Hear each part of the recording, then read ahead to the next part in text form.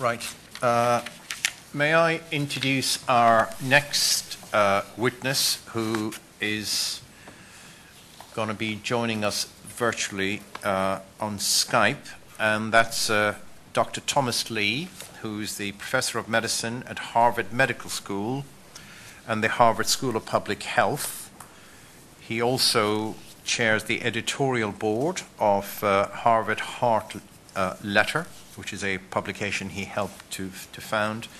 Uh, he recently taken a new role, a new position, the chief medical officer of Press Ganey, and uh, we're great privilege to uh, have you here, Dr. Lee. We thought you might still be in your bedroom, but you're up and running and fresh, and uh, and uh, and I could see you in your office. So I'm very grateful for taking the time uh, to help our thinking in relation to the London Commission. And I know you've got the brief about this, which is uh, which is great. You probably cannot see us, but uh, very briefly, just to introduce the four colleagues with me here. Uh, we have Councillor Teresa O'Neill from London. We have Dr. Andy Mitchell, who is responsible, well, he's the clinical leader for NHS England in London. And uh, we have Professor Dermot Kelleher, who's the Dean of the Faculty of Medicine at Imperial College of Science, Technology and Medicine, and Nick Raceford, who is the uh, Member of Parliament, a senior Member of Parliament, who's been involved in a number of other commissions uh, in the past. So thank you for being with us. And I just wondered, you know, you know something about the UK's healthcare and the good and some of the challenges, and I wondered whether you would share with us some of your thoughts, and then maybe we can have a few, uh, few questions and a few points of discussion. I'll hand it over to you. Well, I'm, thr- I'm thrilled that chance to do so. And uh, I actually, uh, I would add a little unprepared remark in that in my new role, I actually focus on patient experience quite a bit. And if you wanted to turn our discussion back toward that topic and how things are evolving in the United States in, in ways that might be relevant, you know, I'd be happy to go there. Thank you. Uh, but I thought I would start uh, uh, very aware that I don't have frontline perspectives on your data or frontline perspectives on your opportunities and challenges. Uh, but I, I thought I would give you some comments from afar, uh, the perspective of someone who does watch London and does watch the N- NHS. And I would begin by, uh, by focusing on some themes that my colleague Michael Porter and I used when we studied the, when we discussed the case study that's written at Harvard Business School about the London Stroke Initiative. Uh, we use that case study to emphasize certain themes that I'm sure you're well aware of, but I'm hoping that you'll emphasize as you lay out your next set of work.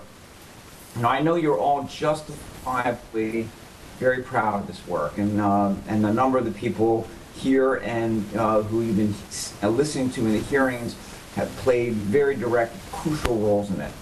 Uh, and that you know how difficult it was, and you know how difficult it is proving to replicate and extend.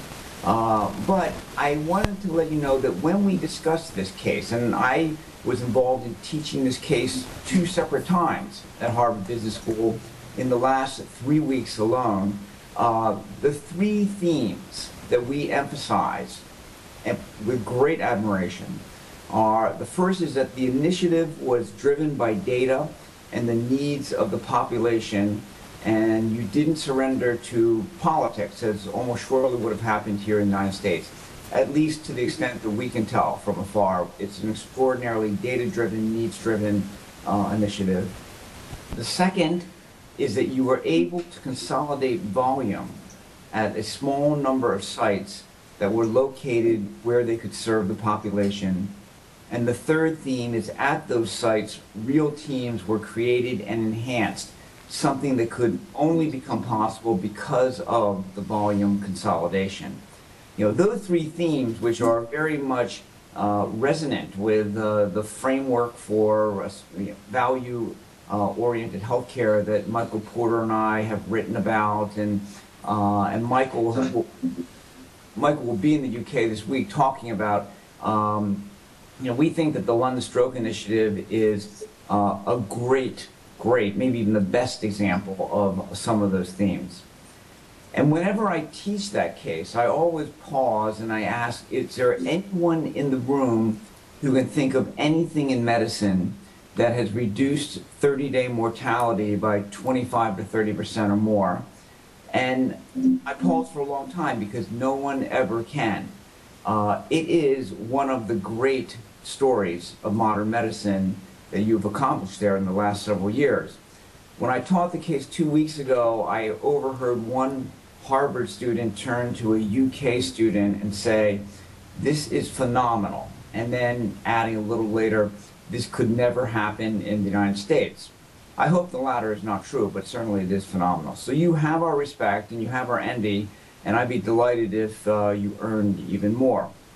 Now, with those themes, there are some obvious targets, and I, again, I don't know the data and opportunities the way you do, but the obvious broad themes, uh, I would list three, are cancer care. I think there is a good increasing evidence in from that I see here in the United States that when you concentrate cancer in in institutions that are completely focused on cancer with teams of clinicians, physicians and non-physicians really working together to improve outcome and to do so efficiently, uh, the results can be better survival as well as a lower cost per year of life earned for the patient. Mental health care, very challenging. I know there are very thoughtful people in the UK who have been working on this problem. It is a code that has not been cracked anywhere as yet, uh, but certainly it is a problem worth taking on. And then the third are chronic disease care in general. Like, and I thought that rather than have me give some big grand vision, you might go online, as I'm sure some of your staff have, and read the proposed legislation that was just issued last week, or perhaps it was the week before, from Senator Ron Wyden, W Y D E N, um, Democrat of Oregon. Uh, his office has put together a bipartisan effort. Yes, there actually are some bipartisan efforts that are flying below the radar screen here in the United States uh, to fund and uh, fund a program that will drive patients with chronic disease to providers that are, have organized programs that will take good and efficient care. In effect, our version of the London Stroke Unit for chronic disease, and it's fairly fully uh, envisioned in the draft legislation, and you can go to Senator Wyden's website uh, to get the details. Now, I know from my visits and conversations with friends in the UK uh, that there are probably real opportunities with those consolidation and team building themes in primary care at the UK. I know it's daunting to change the structure by which physicians have organized their lives, uh, but I do know that many of the GP practices are really very small businesses and don't have the scale needed to develop real teams for prevention and chronic disease management. Uh, I do think that if anyone can start this difficult redesign, um, it's the City of London. And, uh, and I'm hoping that you will be teaching us as you do so. Um, I'll just close by quoting my friend and colleague Atul Gawande, who has said that the, the last century was the highest value in medicine was autonomy, and that was okay because there wasn't that much to know or, or do. But this is a century where so many people must work together. It has to be the century of the system. So, with that goal in mind, the themes of consolidation and team building and giving teams what they need the data, the financial and non financial rewards. Uh, that is what I'm hoping that we'll see in the next phase of your work, and the rest of the world will learn from it. Thanks very much. Thank you. Uh, thank you very much for these wise words. And uh, I'm just going to ask some of my colleagues uh, to seek your advice. Just the last point that you said uh, which did come up this morning as well. You know, one thing I learned in when I was in Parliament is this concept of collective accountability. I don't know how they do it. Intermittently, it fails. May I just say, it doesn't really work all the time in politics. But uh, how, how, what, what have you done in the U.S. to introduce this concept of collective accountability? Uh, you can put a team together, but if you don't have that collective accountability through it, it doesn't work. Any any advice on that before we move on? Uh, you know, our connection isn't fantastic at my end in terms of sound. You're, saying elective accountability? You mean Co- collective. Collective, not elected. Yeah. accountability? Yeah. Well, you know, and and that is one of the aspects of the London Stroke Initiative, which have made us so jealous, and the reason why so many people in the United States react to the story and say, "Fantastic! I can't see us doing it here." And and when I ask my colleagues here in the United States, uh, why couldn't we do this here in Boston, for example? You know, where you know we have you know, renal transplant programs at the two teaching hospitals in Partners Healthcare System, three miles apart. Um, you know, we uh, you know we don't have as much sense of collective responsibility as you. You know, we you know we don't have a commission for the city of Boston or the city of New York that's doing the work that you're doing now.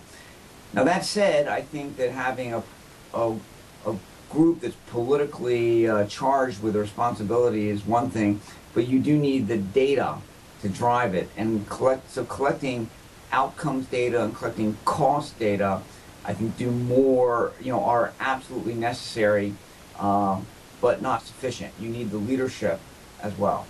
Thank you. Uh, Andy. Tom, this is uh, Andy Mitchell, Medical Director for the Regional Office. Can I go back to the first point that you made about patient experience, if I can, because you've clearly got an interest in that, and that's some of your that's your current uh, work. Um, doctors' involvement in patient experience and promoting patient experience. Quite often, doctors don't engage with that aspect of quality uh, as they ought. Have you made, how have you approached that with your clinicians, particularly? Know, I'm afraid that the the connection is erratic on my end in terms of sound, but could could you re- come closer to the microphone, repeat it more slowly? Yes, my, my question relates to patient experience because you're clearly doing work on that at the moment. And quite often it's the case that doctors in particular don't engage with improving patient experience as they might. And what incentives have you used to ensure that they do? Because I think that's some of the key to our current problems. Uh, yes, and you know there is, uh, you know, I made my move to Press Ganey, you know, the, the, the company, a company that measures patient experience, because I believe that it, it, it was the timing was right. It was becoming something very, very important. And you know, the the realization that I think is sweeping through healthcare in the United States, and I do think sweeping is a, is an appropriate word, is that you know is that uh, we've had so much medical progress, and there's so many people involved in the care of patients now that we've crossed some kind of inflection point where the care can be chaotic for even routine conditions. And that for patients who have complicated conditions or undiagnosed conditions, that it can be torture. And one of the one of the I'm embarrassed to say one of the reasons why we feel like we've crossed an inflection point is the realization that even patients who are you know connected, you know patients who are family members of physicians and administrators in our hospitals, we cannot guarantee that they won't have a miserable experience. So that when a crisis comes home, then suddenly it becomes an important crisis. So, Mike, you know, my colleagues are increasingly using the term suffering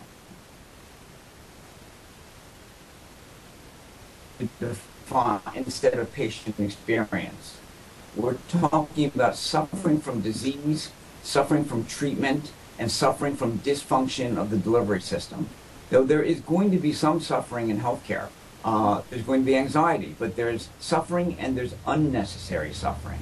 And so we are breaking down the measures of patient, formerly called patient experience, to capture things like the anxiety, the lack of trust, you know, the, the, the confusion of what's going to happen next. You know, we are finding, you know, I've just finished a big analysis with a million patient data set showing that what matters to patients in terms of their likelihood of recommending providers, the number one thing is how much confidence they have in the caregivers, particularly the physician. The number two thing is how well coordinated they feel that the care is. And the number three thing is did they feel like their concerns were being listened to? And after you take those three things into account, we actually found that waiting time did not matter. It did not add additional information to our ability to predict patients' likelihood of recommending a doctor or recommending a facility to their patients.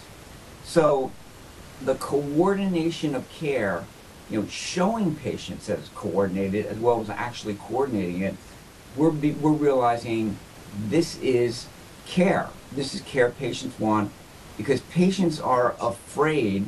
They're afraid of their diseases, but they're also increasingly afraid that we are not talking to each other and that something may be slipping through the cracks because of the chaos that they can see around us. Thank you, Tom. Um, another brief question from me. Uh, it's a slightly different topic. We, you've talked about volume and outcome relations, and we've made quite a lot. Of, we've made very good progress with stroke and trauma, with complex vascular surgery, and with some cancers. But beyond that, it becomes very difficult to be sure that there is a sound case for further centralisation. And much of what presents to A&E services is, is non-specific or chronic disease related. Do, uh, is there anything further, any other conditions that we should be looking to centralise beyond that, or we have to accept the reality that a lot will have to be still catered for in district hospitals? You know, I, I do think there's real opportunity with chronic disease. Obviously, you won't be concentrating it at eight sites in for the City of London. Uh, but if you look at the legislation from Senator Wyden's office, which I made a very small contribution toward developing, uh, the idea of chronic disease programs where there are teams of physicians but non-physicians as well who are organized to meet most of the needs of patients with chronic disease and to do so as efficiently as possible. Uh, it's, you know, imagine a hyperacute stroke team for diabetes, you know, with, which, you know, it won't have the speech therapist and uh, the occupational therapist, but it will have the podiatrist and it will have a nephrologist and, and so on. Um, uh, those kind, that extend the same principle and understand you're not going to do that care everywhere. It's not going to be done in every office. It will be done in some geographically dispersed uh, set of programs, and there will be incentives for patients and providers to go there. Uh, uh, I think that the chances are, it seems very logical that this should produce uh, better care and also do so more efficiently. Thank you, John. That's very helpful. Thank you. Yes, Dermot. Uh, Dermot Kelleher, I'm Dean of the Faculty of Medicine at Imperial College, and uh, I'm very interested in your in your writings in this area, and uh, particularly the uh, the shift from service-based uh, to uh, outcomes-based delivery. And I just wonder if if you could elaborate on on on particularly how you use these case models and how you think that we should be educating the next generation of care deliverers in, uh, in, in, in, a, more formal uh, team-based setting or in a, towards the delivery of health care in a, in a way that's more coordinated rather than individualistic?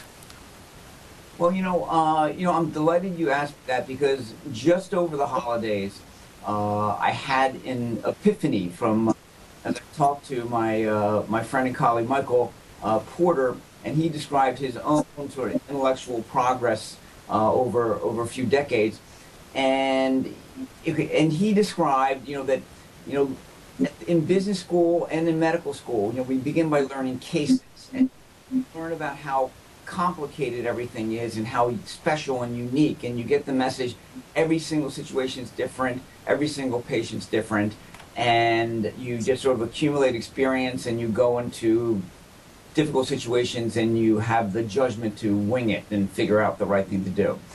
Uh, that's the old way of learning. Then at the other extreme, there's the academic uh, world where you're trying to write papers where exposure A is associated with outcome B, and you end up having to simplify everything. And uh, so you end up with, on one hand, information that's too complicated to be to really tell you what to do in any situation, and on the other hand, information that's too simple to tell you what to do. And, and what uh, they're both useful, but the, uh, they're not useful enough. And so what Porter figured out in the 80s really is that what's there's something in between that's needed and that's frameworks. You know, frameworks of enduring relationships, fundamental relationships, which are likely to be valid in almost any situation. And that's, uh, you know, that's what his famous five forces model was probably the first really prominent example of that. You know, our hope in the article we just wrote in Harvard Business Review is that there's six components of strategy, you know, three of which are fantastically represented by the London Stroke Initiative, uh, will be something like that. Fundamental relationships that as younger people, you know, remodel the healthcare system, they will know to emphasize, like the development of teams focused on patients over episodes of care, you know, measurement, you know, and uh, you know, you know, consolidating volume uh, over the you know the various locations. Uh, we hope that uh, getting those themes that constitute a framework, you know, will become part of what students learn. Yes, Nick. Dr. Lee, I ask this question as a politician. You told us about the new legislation uh, which has just been introduced by a Democrat but with cross party support, and you made a point about uh, this is still possible even in a political situation in America which is often polarized, as, as indeed uh, our politics here in the UK are often polarized. Can you tell us about the factors that made possible this cross party agreement on uh, the new approach uh, towards dealing with chronic disease treatment? Well, and you know, I think there's a long way between proposing legislation and passage of the legislation and and real implementation. Uh, but I think that um, there are there's agreement below the surface of uh, on on many things, and you know, the, uh, you know, in the United States, you know, on the surface, uh, you know, politicians don't like to talk about uh, end of life care because uh, there's a you know a, you know a very conservative segment that uh, has invoked the term death squads, which has made it very difficult for any politician to talk about it. Below the surface, you know, I know firsthand that there are uh, plenty of senators and congressmen uh, who, you know, in, in both parties, really understand that that compassionate end of life care is a hugely important issue. So uh, some of this work is below the surface.